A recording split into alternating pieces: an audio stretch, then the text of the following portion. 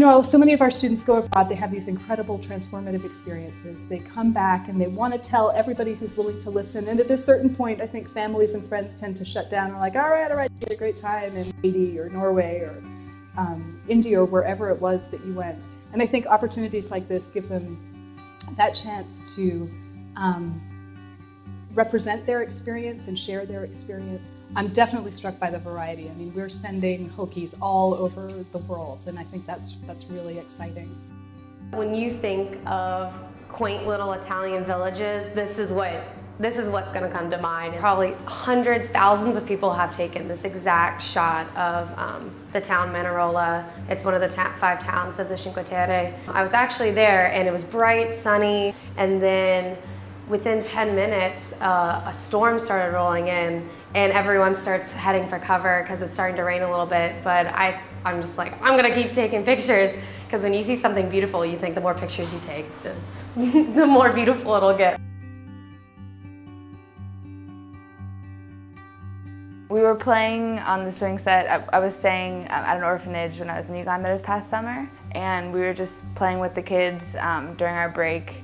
Just, I mean, to be honest, it was probably just a lucky, I caught him right at, the, at a good time. I mean, the kid, um, Ivan, he's really what makes the picture. One thing that is really just like in my head from Africa is the clay and tree, just like the red, green contrast. And so I think I like that this picture sort of captures that clay. It just really like was, was what Africa was to me.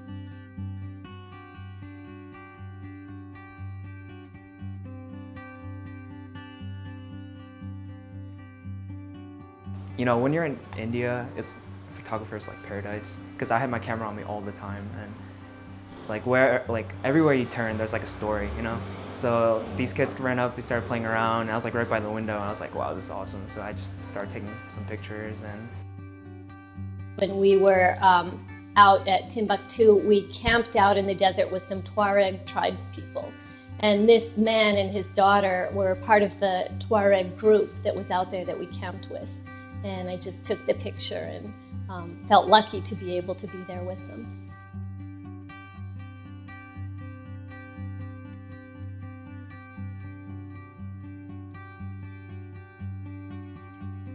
Um, I took it in Lagou, Haiti, right outside Camp Perrin, in um, a really rural part of um, a village of Lagoon. I'm part of the club Bridges to Prosperity. We have a chapter at Virginia Tech. For this image, we were finishing um, setting the cable and putting the wood decking, and we came to this um, to our site this morning, and the kids were jumping on the bridge, really excited. It was the first time we'd come in; it was done. And so we were kind of joking that they were testing the structural stability of our bridge and doing our work for us. Um, being in Haiti is not anything like being in America. They work on their own time, everything is slowed down, but also just relax. And it taught me as a student here where deadlines, deadlines rule my life, and especially as an American where everything is ruled by time, but that's not the most important thing in life. the most important thing is having that community with you and like working towards a future and teaching people and loving people so going to Haiti, I think, taught me most of all to enjoy life and to appreciate what I've been given and how I can use it to give to others.